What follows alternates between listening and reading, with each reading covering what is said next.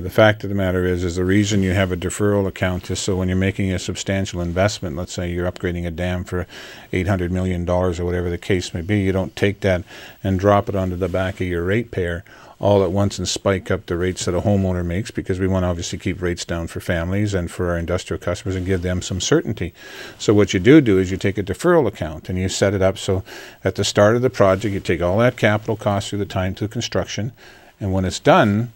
then you just then you set it up almost like a mortgage. So it's basically now I have the revenue that's coming in from this investment, and over time that will pay down that that deferral account.